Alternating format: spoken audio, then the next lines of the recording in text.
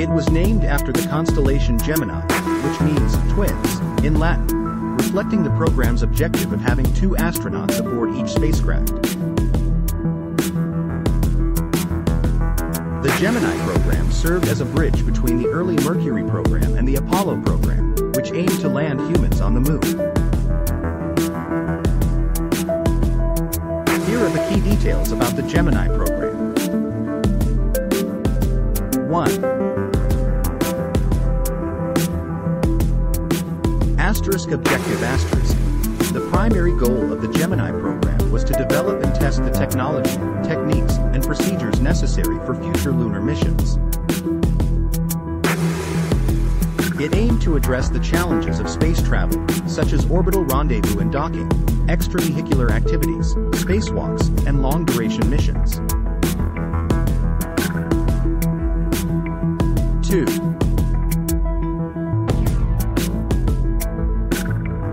Duration asterisk. The Gemini program was active from 1961 to 1966, consisting of a total of 10 manned missions. 3. Asterisk astronauts asterisk. The program involved 16 different astronauts, including some who had previously flown in the Mercury program. These astronauts were trained for various aspects of spaceflight, including piloting spacecraft, performing spacewalks, and conducting scientific experiments. 4. Asterisk spacecraft asterisk. The Gemini spacecraft was larger and more versatile than the earlier Mercury spacecraft. It consisted of two sections, the reentry module, where the astronauts were located during launch and reentry, and the adapter section, contained the propulsion and equipment required for space maneuvers.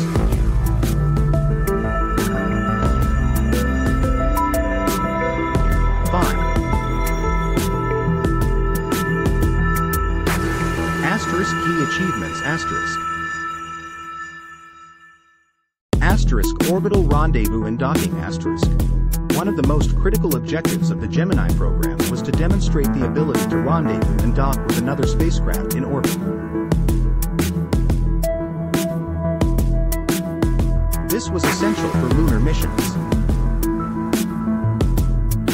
Gemini 6 and Gemini 7 achieved the first successful rendezvous in December 1965. Asterisk spacewalks asterisk.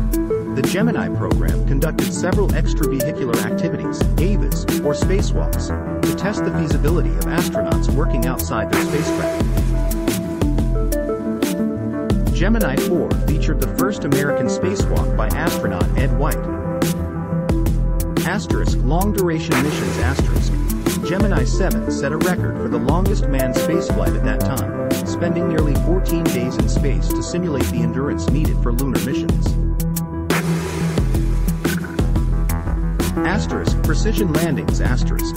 The program improved the accuracy of spacecraft landings, with many missions achieving pinpoint landings near the intended recovery ships. 6. Asterisk Legacy Asterisk. The Gemini program provided invaluable experience and data that were directly applied to the Apollo program. It helped NASA develop the skills and confidence required to land humans on the moon and return them safely to Earth.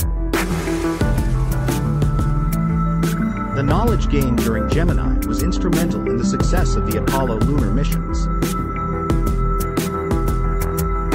Gemini program was a significant step in the history of human space exploration, serving as the proving ground for the techniques and technology needed for more ambitious missions beyond Earth orbit.